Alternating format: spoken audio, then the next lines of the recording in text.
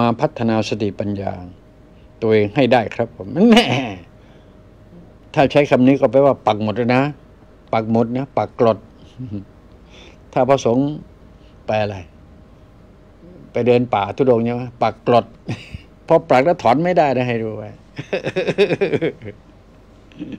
ที่นั่นเป็นขี้หมาก็ต้องนอนให้รู้ไว้ไม่ได้แล้วครับ ปักกรด โอเคไหม แล้วยุคนี้เขาเรียกว่าปักหมดโอเคนะ GPS ไงปักหมดนะเอาให้ได้นะครับปักหมดนะก็ค่อยๆพัฒนาฮะสิ่งเหล่านี้ครับ ยินดีฮะทุกท่านที่เข้ามาหน้าใหม่หน้าเก่า คนใหม่ ๆ ก็เข้าใจเรื่องนี้ ก็โอเคนะ ดีมากครับ มันจะค่อยๆขยายเผ่าพันธุ์ไปเรื่อยๆสิ่งเหล่านี้ มันจะแตกตัวแบบฟิชชั่นต่อไปเรื่อยๆนะครับ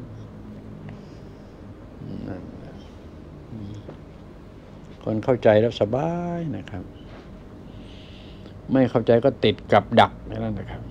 มันต้องค่อยๆแชร์กันภาษาทีละคำสองคำนะครับ ฟังภาษาลุงมาก ๆ หน่อย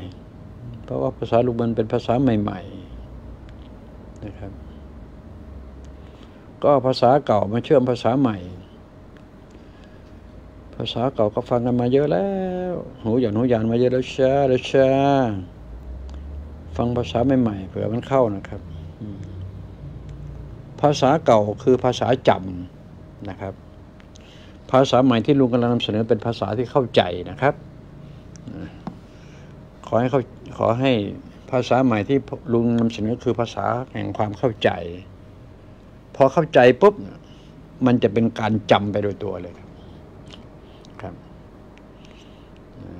เพราะเข้าใจ นั่นแหะคือจำไปในตัวเลยครับ ถ้าไม่เข้าใจอะ มันไม่จำนะโยม ถ้าเข้าใจแล้วโห มันจำแน่เหลือเกิน ถ้าหากว่าเข้าใจในถิ่มันถูกต้องตรงจริงโอ้โหจำแล้วไม่ลืมเลย อย่างของผมเนี่ยพอมันมีแกนแล้วมันจะไม่ลืมไปไหนนะครับแต่เป๊ะไปไหนก็เป๊ะไปแล้วกลับมาได้เหมือนเดิมแหละมันมีแกนอยู่นะครับ ศูนย์ยากาศกับศูนย์ศูนย์ยตาโอเคศูนย์ยตากับศูนย์ยากาศ คือแบบเดียวกันไหมกะศูนย์ยตานี่เป็นภาษาพุทธศาสตร์นะครับศูนย์ยตาอนัตตา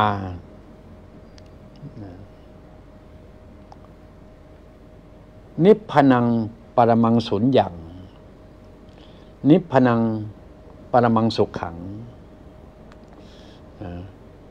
คำว่าสุญญตาเนี่ยมันตรงกับคำว่านิพพานนะครับ ตรงกับนิพพาน ตรงกับปรมัตสัจธรรม ตรงกับความว่างครับ ตรงกับพระธรรม พระธรรมยังไม่ใช่ฮะเพราะพระธรรมมันต้องไต่กับพระธรรมมันอยู่สี่ระดับ โสดาสกิทาอนาและอรหันนะครับ พระธรรมเนี่ย ถ้าถึงขั้นอรหันต์ก็จะเข้าสู่สุญญตา เข้าสู่พระนิพพาน เข้าสู่ความว่าง เข้าสู่ปรมัตสัจธรรมอย่างเงี้ยหรือเข้าสู่เข้าสู่โลกุตตรธรรมคำว่าสุญญตานะครับ แปลว่า สิ้นสุดการเกิดนะครับ กับคำว่าสุญญากาศเนี่ย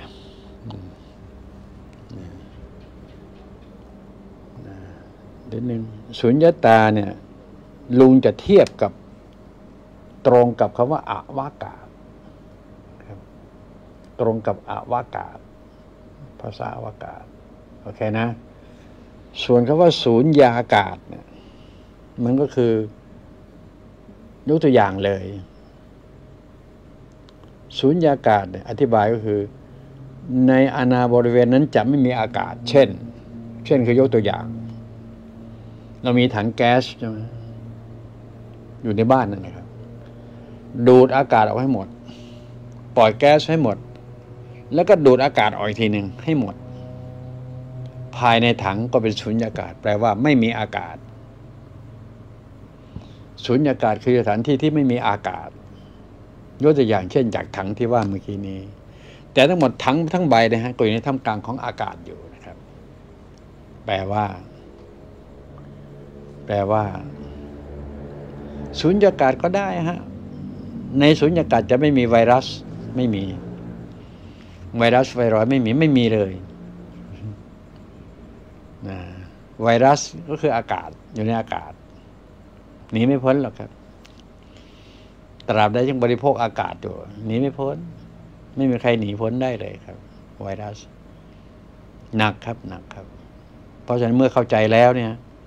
ก็จะป้องกันไวรัสได้ มาเข้าใจสิ่งเหล่านี้ มันจะป้องกันไปในทีนะครับ เพราะฉะนั้นท่านอยู่หน้าจอที่เคารพครับ เพียงแค่เข้าใจภาษาลุงนั่นเอง เป็นการป้องกันไวรัสโคโรนาเสมือนหนึ่งครับว่า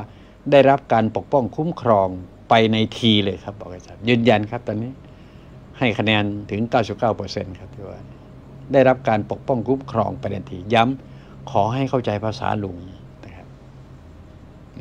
ท่านใดที่เคยย้อนแย้งอยู่ลองกลับมาเข้าใจดูสิครับ ภาษาลุงไม่ใช่ภาษาฟังง่ายเท่ากับเท่าไหร่หรอกนะครับ จึงให้ฉายาว่ากิ๊กก๊อก แต่ถ้าหากว่าจริง ๆ แล้วคนไหนที่ฟังได้ง่ายเข้าใจง่ายมันอย่างนี้เลยครับ ก็ต้องมีบุญพอสมควรนะฮะ จึงจะเข้าใจภาษาลุงได้ง่าย ก็แค่นั้นเอง อธิบายความที่ว่านี้นะนะนะนะตกลงสุญญากาศคือ แบบเดียวกันไหมครับ คนละอย่างนะสุญญากาศกับอวกาศนี่คือแบบเดียวกันนะสถานที่ที่ไม่มีอากาศ ก็มันบริสุทธิ์ อากาศไม่บริสุทธิ์นะ บอกกับชาวว่าอากาศไปเอาสูดหายใจเอาอากาศที่บริสุทธิ์ไม่มีทางคำว่าอากาศไม่บริสุทธิ์ แต่ความบริสุทธิ์ซ่อนอยู่ในอากาศเนี่ยมาอย่างนี้คบกันไม่ได้จะแบบในลุงก็อธิบายในระดับนิวเคลียสจึงจะรู้ออกนะครับ มันต้องรู้จักอะตอมรู้จักนิวเคลียสที่ทางภาษาวิทยาศาสตร์เขาพูดถึงกัน แต่ทางด้านภาษาพุทธศาสตร์คือรูปกับนามนั่นเองครับนะรูปกับนาม นามที่ว่าต้องนามบริสุทธิ์ด้วยนะครับโอ้ยเหนื่อยไหมพี่ ผมว่า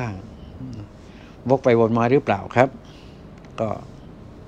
ก็ค่อยๆ ฟังไปฟังมาหน่อยกันแล้วกันนะ เพื่อให้มันเข้า เหมือนกับเป็นสว่านจอบปุ๊บมันเป๊ะเดียมทะลุที่ไหนแล้วครับ มันต้องทั้งกดทั้งอะไรต่างๆ สว่านเจาะเหล็กขอให้คิดอย่างนั้น กว่าที่มันจะทะลุเหล็กได้นะ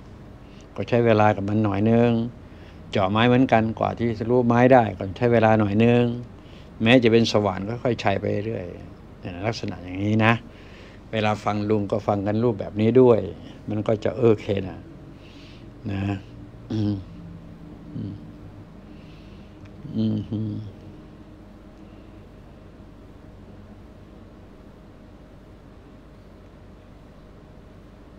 ลูกสายชนภูเก็ตเลย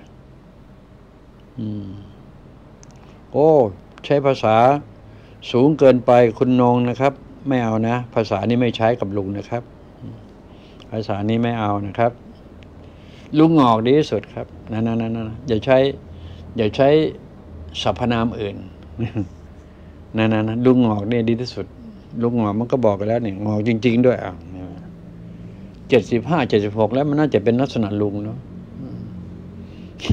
ขอรักษาเนื้อผ้าลุง อายุร้อยปี ร้อยห้าสิบปีก็ยังเป็นลุงอยู่ยังค่ำดีไหมลุงบอกเพียวดีจี้เพียวดีจี้ไงไปไหนก็เป็นลุงลุงไอ้ดีเหมือนกันนะนะนะอืม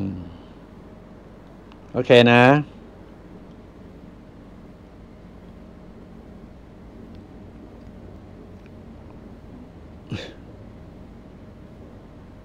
สวัสดีปีใหม่ค่ะ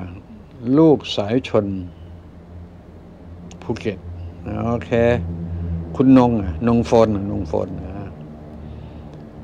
โอเคอ่าอืม มีอะไรไหมคะ ลุงเลแล้วนะสี่ทุ่มพอดีเป๊ะเลย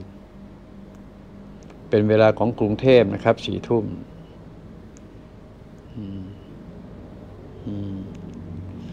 ทางฝั่งเฟซไม่ค่อยถามเนาะ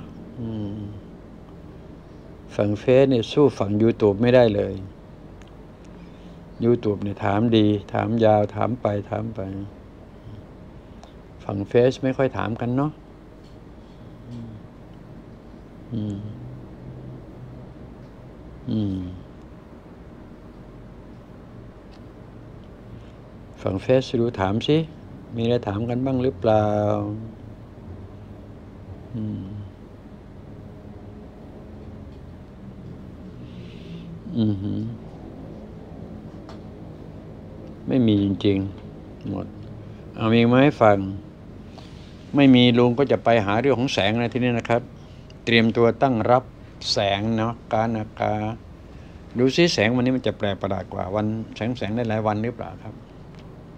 ผมว่ามันประหลาดนะลุงมีของเล่นเยอะนะเดี๋ยวจะหาว่า ไม่มีของเล่น ลุงมีของเล่นเยอะนะลุงมีเชื้อเชื้อๆนะ เดี๋ยวจะรู้ว่าของเล่นมันคืออะไร เดี๋ยวจะรู้ไผเป็นไผกันแล้วกัน อ้าว